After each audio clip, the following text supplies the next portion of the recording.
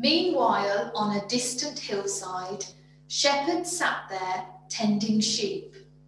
Amos, Seth, apprentice Colin, round the campfire, half asleep.